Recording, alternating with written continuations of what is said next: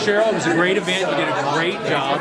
I mean, you packed the house. What's up for next year? Wow, you know, Michael, catch me in about a week, but I definitely think that uh, we'll be back. I don't know where. We may have outgrown the Hyatt already, but uh, I've already received a thank you uh, LinkedIn message from the hotel, so they get it.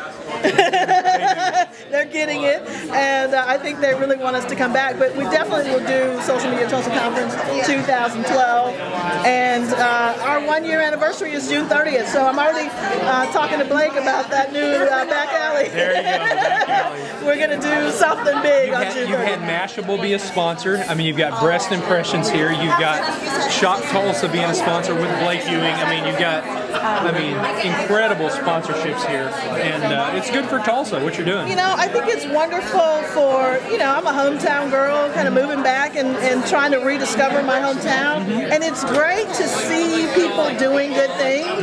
And social media and the networks have allowed me to find people like you and, and Judy and Blake and all these wonderful people who are just willing and able to come together and tell a good story about what's happening in Tulsa. Tulsa really is about reinvention. You know, the very first billionaire, J. Paul Getty, lived here in 1914, and I think things like social media Tulsa and what you're doing, what Blake's doing, what others are doing, you're really helping Tulsa reinvent herself. I really do. I loved your post about from oil capital to tech capital. I thought that was really brilliant and really is an opportunity for Tulsa to have a technology resurgence and an entrepreneurial resurgence and people who are doing things and creating uh, like Ask Me Tell Me and like Breast Impressions who, yeah, there are other uh, breast cancer awareness, but Judy has done something completely unique and her personal story just gets people on board with her and, and I think that's what's happening. I mean, you know, the napkin dad, you know, Marty, you know, he, you know, he got people in in his presentation and you know, everybody did such a wonderful job of telling the story of how social web can help you follow whatever your passion is or whether your business or it's a nonprofit. So it's not so much about being an expert at social media, but it's about using the social tools to help you share your expertise with the world.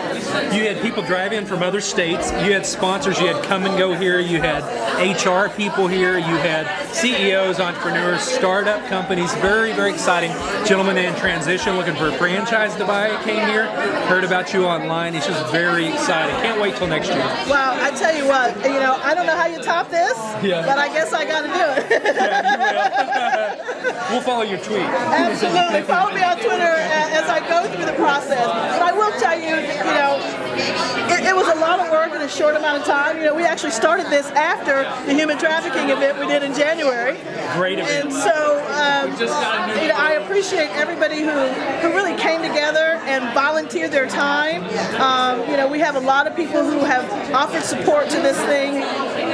You know, they didn't have to give their time and uh, be here today, but they did, and I hope we give we've given them something uh, to think about and share. And you know, my la- little last minute you know reflection time. I really like to have people think about, okay, now you have all this knowledge and all this stuff. What are you going to do with it? Now, you know, make a plan and get out there and make stuff happen. I Make would it- say make yeah. stuff happen. Make stuff happen. make stuff happen. it's sure. For sure.